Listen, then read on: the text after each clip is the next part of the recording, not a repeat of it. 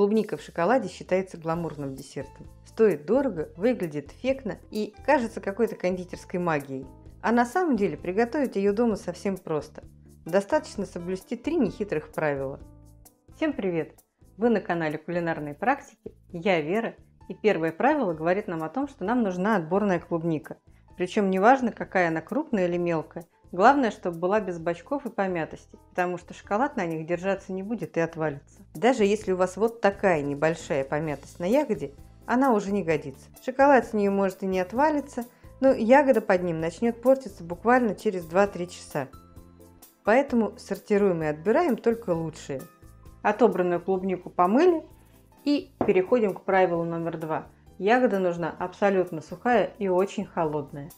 Перед охлаждением ее надо тщательно высушить. Вымытую клубнику раскладываем на полотенце и промакиваем каждую ягодку и под листиками, и даже сами листики, чтобы ни одной капельки нигде не осталось. Шоколад воду не любит и не ляжет на влажную поверхность. Оставляем ягоды полежать на сухой бумажной салфетке минут 30-40, а лучше час. Перекладываем ягоду на тарелку или доску, застеленную пленкой или салфеткой, обязательно в один слой – и обязательно оставляя небольшие промежутки между ягодами. Это нужно для равномерного охлаждения. Клубнику охлаждаем обязательно в морозилке, не в холодильнике.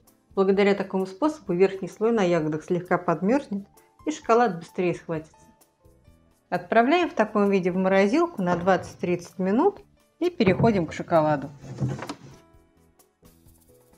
И здесь правило номер три. Шоколад нужно темперировать. Звучит Страшно, но в данном случае ничего сложного. Растапливаем его на водяной бане или в микроволновке. Если вы ни разу не растапливали шоколад в микроволновке, обратите внимание на следующие нюансы. Шоколад в микроволновке может перегреться, подгореть или вообще сгореть.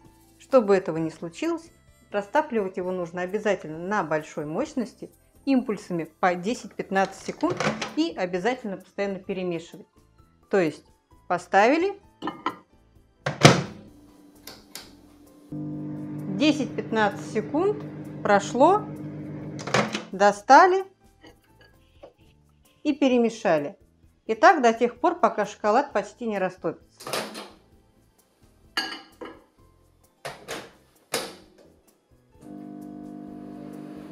Сначала кажется, что с шоколадом вообще ничего не происходит.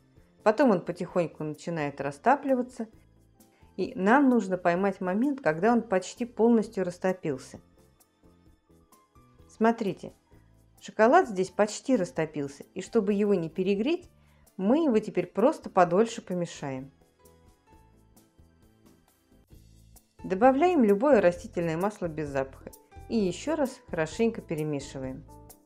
Масло нужно брать 10% от массы шоколада. Ну а шоколад можно взять любой, хоть белый, хоть молочный, хоть темный. Когда глазурь немножко остынет и будет иметь такую консистенцию, Переходим к финальному этапу. Глазируем таким образом. Окунули, чуть подержали, достали, покрутили, чтобы шоколад равномерно распределился по ягоде, несколько секунд подождали, дали ему немножко схватиться и аккуратно положили на пищевую пленку или пергамент. Все, не трогаем, пока шоколад не застыл. Если вы хотите, чтобы ягоды были полностью в шоколаде, воспользуйтесь зубочисткой – Принцип тот же. Зубочистку тоже достаем из ягоды только после полного застывания шоколада. Чтобы предохранить шоколад от температурных перепадов и от жары, можно использовать посыпки. Например, вафельную крошку или шоколадную стружку. Любую подобную посыпку наносят на еще не застывший шоколад.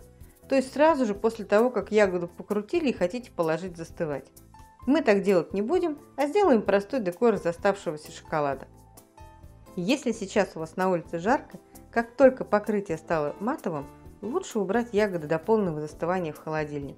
Ну а если вы хотите сделать такой десерт заранее, то за 1-2 дня в холодильнике с ним ничего не случится.